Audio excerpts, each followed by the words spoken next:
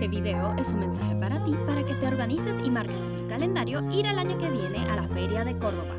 Mayo es un mes especial para los cordobenses, donde celebran las cruces, las batallas de las flores y el Festival de los Patios, cerrando con la Feria de Nuestra Señora de la Salud, conocida por todos como la Feria de Córdoba, que este año tuvo 86 casetas, su clásica calle del infierno llena de atracciones y juegos de feria, rebujitos que no deberías tomarlos si